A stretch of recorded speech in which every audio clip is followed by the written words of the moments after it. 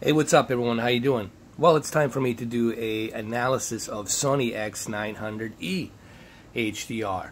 Uh, I'm not gonna talk about my picture settings here. That'll be for another video. I'm just going to walk you through this game and talk about the HDR on Sony X900E. Now, Sony X900E is still a great TV. Regardless of some people complaining about the bending light, listen, let's make something clear. All of these LED televisions, they're all LCD LED televisions, okay? They have LCD. They're still LCDs.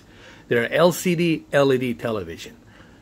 They still have LCD panel with a backlit of LED, whether we're talking vertical alignment or IPS in plane switching or twisted nematic, doesn't matter. They're still LCD LED backlit television. In a basic terms that every Joe and every Mary can understand, they are LCD panels with backlight, backlit of LEDs. However, what differentiates all of these televisions from each other is technology that's built behind it. Some of these televisions, they have a really good technology that uses a quantum dot uh, technology cells, a billions of them. They're put inside to enhance the color palette. Some of these television they have a wider range of full array local dimming that goes across the panel. So therefore, the television will look less bleeding of that light because it's dimming that uh, bleeding light with those local dimming zones.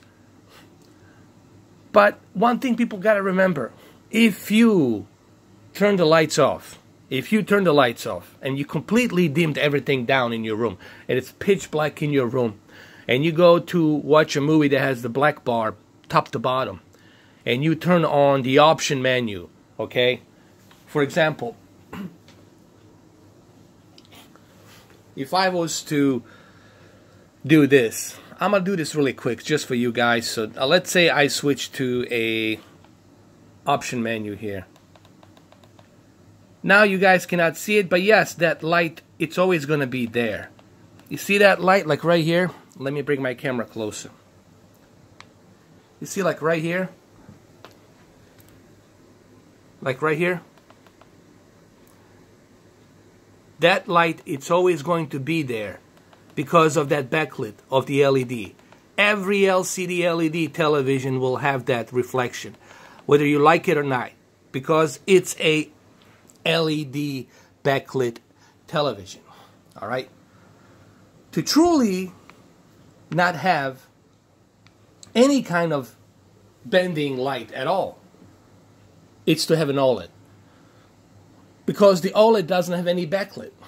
OLED, it's emitting by itself. Okay?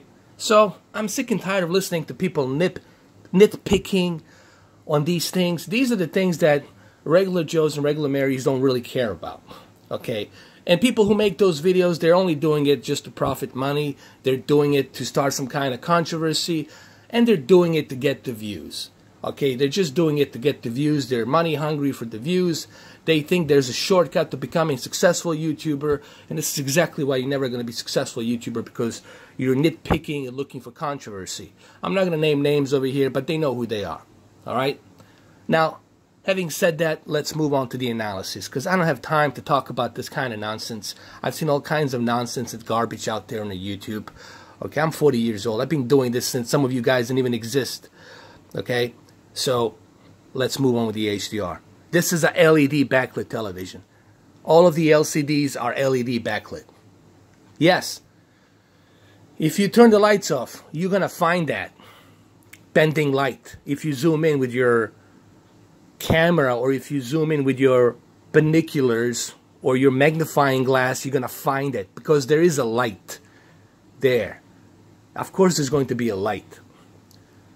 But people like to nitpick and they like to uh, do these videos for controversy for the views. And they're doing it for that reason only. Now let's move on because I don't have time to talk about this nonsense and this ludicrous stupidity. Okay? Of course, LED is the, the best looking TV but it's the most fragile TV because of the technology, the nature of technology. I never said that OLED doesn't have the greatest uh, picture quality. It does have the greatest picture quality, but the problem with the OLED is it's a very fragile technology, and you have to babysit that TV. I don't want to spend $3,000 babysitting something. I just spent five minutes explaining this nonsense. Now let's move on. and Let's look at the uh, HDR here on Forza Horizon 4 on Sony X900E. As I have mentioned earlier on my previous video regarding uh, TCL R617, uh, the amount of detail that you see. Now, the reason to say Mrs. 4K because it's a chick that's driving it, so it's going to say Mrs. 4K. But the amount of detail that you see, the amount of reflection that you see uh, on this Xbox One X version is truly, it's truly remarkable.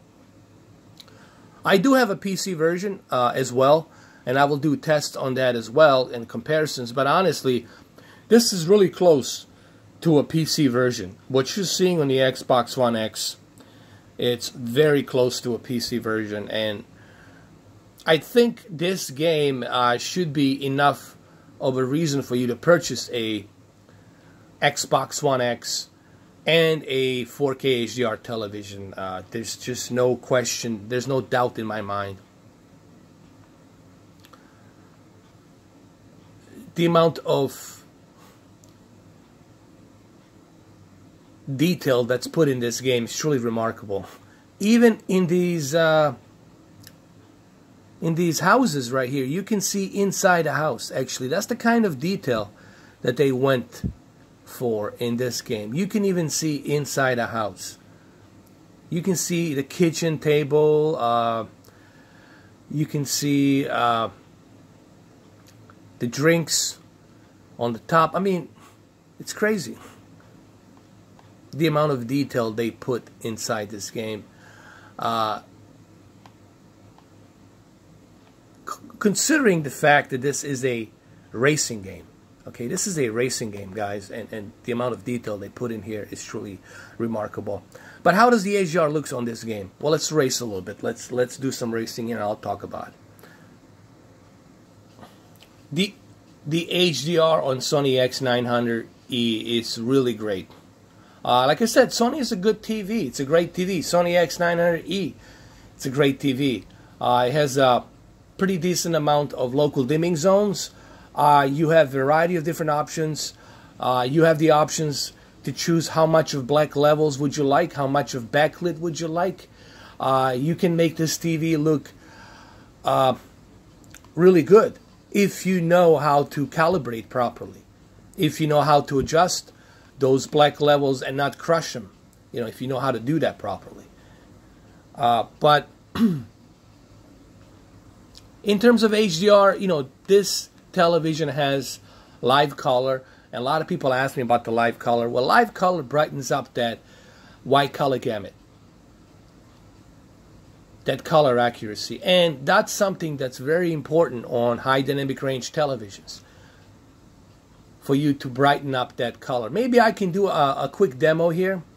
I'll use, uh, I'll find a good parking spot here. Maybe I can, and I'll, I'll demonstrate that demo to you guys, what I mean by the live color and why the live color is so important. I'm gonna park over here somewhere where there's a lot of sunlight and I'll use a photo mode and like right here. Okay? Just give me a second. Let me go to a photo mode. And uh, I think right here is good. Right here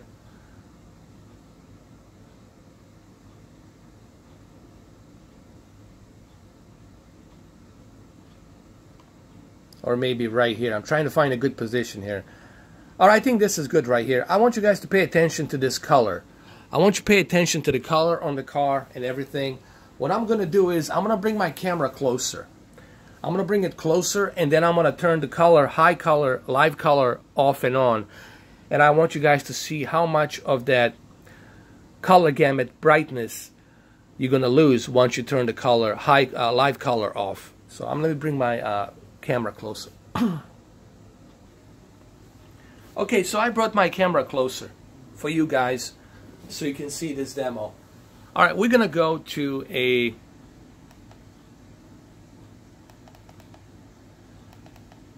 picture adjustments and then we're gonna go to a advanced settings we're gonna go to the color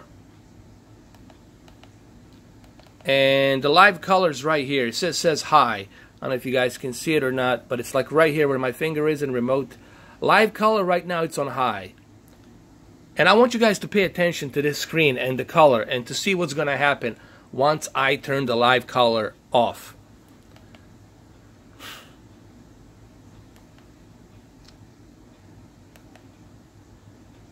I don't know if you guys can see it or not.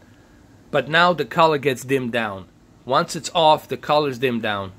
Once it's on, the color gets brightened up. And keep an eye right here, right here on this uh, on the headlight.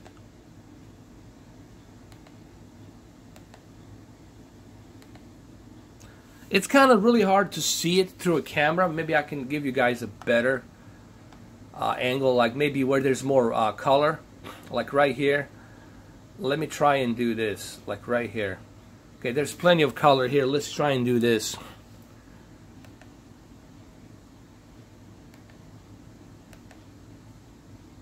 so when people say that when you turn the live color on that you are oversaturating the color that is just utter nonsense that shows me that person has no idea what he's talking about when person starts saying something like that uh, it, it, shows me either A, you're just doing it to start some controversy, or you're just doing it because you want the clicks and you're hungry for the views. But you are just misfalsifying the information. Turning the live color on enhances the brightness of that color. And that's what you want on a high dynamic range. This is part of the X1 processing chip a very powerful processing chip that's built inside Sony televisions. So if you want to turn off that live color off, well then uh, what's the purpose of you having the HDR? The purpose of HDR is to brighten up that color gamut. And live color set to high is going to help that. It is hard for me to to show you that through a camera here, okay? But don't listen to people out there who spew a bunch of nonsense on the YouTube videos, talking all kinds of nonsense. Okay, they're they're gonna talk about all of these televisions bad because they're looking for something new. They're looking for the new controversy. They're gonna find a new controversy. They're gonna cook up a new controversy. These are the money hungry people for the views. They don't care about the televisions. They only care about the views. And there's plenty of these copycats out there on the YouTube. I've seen all these copycats on the YouTube making these videos trying to find some controversy, looking for the views, and all they get is a, a roughly maybe 400, 500 views, 300 views. Uh, roughly, they make maybe 500 views. Why? Because nobody cares. They know that this person is not credible, has no credibility, doesn't know what this person's talking. He doesn't know what he's talking about, and people just simply should ignore that kind of nonsense. There's all kinds of garbage out there on YouTube. There's people out there just doing it for the money reasons. There's people out there just trying to copy me, try to do what I do, try to start some controversy with me, try to get to me. Well, people have tried it for three years and nothing happened because I don't play that type of a game. I'm here to tell you the facts. These are the facts. Or you can contact Sony. Go ahead, write a letter to the Sony. Sony will tell you exactly the same thing. You can contact a professional calibrators. They'll tell you the same thing. Okay, they might have a different preference, but they'll tell you the facts are yes, the live color is going to enhance the brightness on that color gamut, meaning the brighter color, which is necessary for high dynamic range. Now let's move on. All right, so I'm going to keep my uh, camera close to the television. This is a television. It's not like some screenshot I put onto the video. Okay, and uh, I want to talk about the uh, the HDR here for a minute and why, to me personally, I believe the Forza Horizon 4 has the best HDR that I have seen. Next to uh, Spider-Man and God of War. this is truly remarkable. Another thing that's remarkable about Forza Horizon 4 is the fact that the graphics, they truly utilize the power of the Xbox One X. When they were designing this game, they were designing it in mind with the Xbox One X. Uh, and they truly, with Turn 10 Studios and Playground Games, obviously, Playground Games is the one that developed this game. Turn 10 Studios is the one just publishes it. And what they truly have done, along with the Microsoft, obviously, they have partnership with Turn 10 Studios. What they've done here is truly something that utilizes the power of six teraflops, the power of that memory bus speed, and the power that that GPU and CPU built inside Xbox One X it's implemented. Now, when you implement that graphical power with native 4K and high dynamic range, well, this is the end results, guys. So, if you truly want to show off your Xbox One X uh, this holiday season, if you want to show off your, what I'm trying to say is this: if you want to show off your HDR and what your Xbox One X can do in terms of HDR and 4K, I think this is the game. This is the game. And this is the fall. We're not even uh, in the winter. We're not even in the spring. We're not even in the summer. This game has four seasons. The seasons do change. Dynamic weather does changes. You got sunrise. You got sunset. You got noon. You got, you know, throughout the day, midday, you got all of the above. A heavy rain, light rain, heavy storms, uh, heavy snow, light snow, blizzards. You got all of that stuff. The frostbite, the freezing weather, all of that it's implemented here on this game. And this is where the HDR is going to benefit. And this is why I tell people this is a type of a game that it's always going to benefit for HDR due to the uh, the environment of the game, the nature of the game, and it's always going to benefit. It's always going to look better. All right. So, I mean, this is hands down. Listen, guys, this is hands down the best uh, HDR game you can pick up right now on Xbox One X. There's nothing better at the moment right now for the Xbox One X. I'm telling you, uh, this is it. The graphics are simply stunning. The level of detail here that's put inside the, this game. I'm zooming in. Look at me. I'm zoomed in all the way in. Even the reflection on the F-150 is presented. The level of detail that's put into this game is truly remarkable. The reflection, the dirt, uh, the shocks, the tire. You can even see the, the uh, how the tires being uh, a little bit torn apart. What I mean by torn apart, you can see some scratches on the tire. You can see the outline of the scratches on the tire. You can see that mud that's uh, overlapping the tires. You can see all of this detail. And then you can see inside the car, the seats, the person with the hairworks, uh, the dashboard. It's all there. It's all there, guys. It's all there. And this is all rendered in 3D. This is all in 3D. And it looks just simply amazing. Okay? So, Sony X900E, it's a great TV. Listen, guys, don't don't fall for this nonsense people telling you don't buy Sony X900E.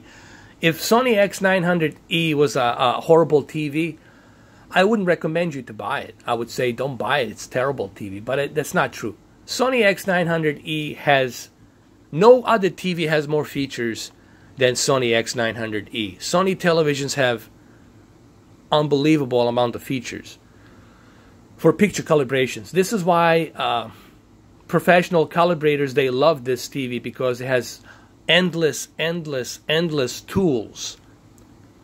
Tools of features available for you to calibrate the picture quality to your likeness or to the best possible ability that you can uh,